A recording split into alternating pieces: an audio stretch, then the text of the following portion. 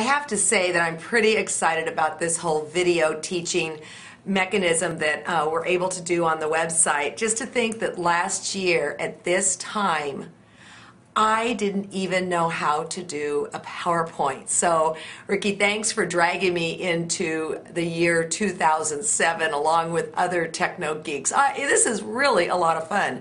The problem is, I'm spending a lot of time doing this and not quilting. Well, you asked some really great questions over the first uh, course of the whole batting lessons, so I want to answer some of them. But first, let's start off with the details. Behind me is a quilt. It's not my design wall. And it was made for my 50th birthday by my friend uh, Cheryl Uribe, well, and all my friends in the quilting community what she did was she sent out a query to my professional buddies and they all sent me back blocks. And so I love this quilt. It hangs in my studio it's first thing that I see every single morning when I walk in. If you want to see a full picture of it go to the blog archives to April 4th that's where you'll see a picture of it. And then there was another question about another quilt the one right over here. I'm doing this all backwards. Let's take a look at it it's from my hand applique book. It's quite small, charming, and actually it's a good place to start if you want to learn about hand applique. So that answers the question about the two quilts behind me. Now, one of you asked a question about embellishment, beading specifically. I have all my notes right here, okay? So forgive me when I look down. And it was would I use Hobbs 80-20 or dream cotton if I were getting into embellishing quilts? You know what? I don't know. So for those of you that are watching this, please answer and let's help this gal out. After all, we all, after all, I can't talk. It's too early in the morning. My coffee didn't come out too good this morning.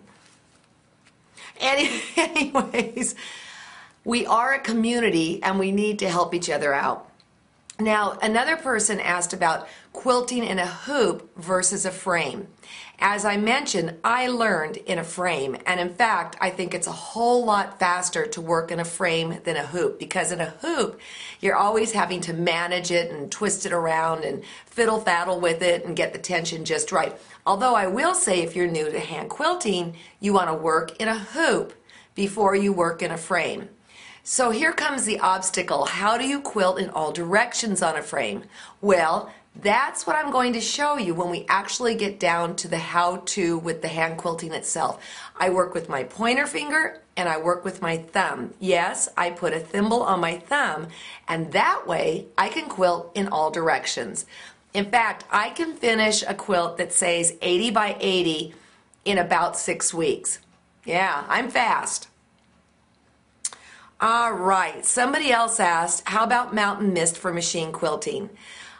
As you know, I love Mountain Mist, but for machine quilting, I prefer a cotton. I think the polyester might get a little wobbly. Now, if any of you disagree with me on this, I'd love to hear your comments on the blog because we are here to help each other learn. And then another person asked what scrim. Now, there's a reason we don't know what scrim is because it's so complicated. It's not quilty terms. I called Hobbs Batting Company down in Waco, Texas, and this is what they say. I've got to read this.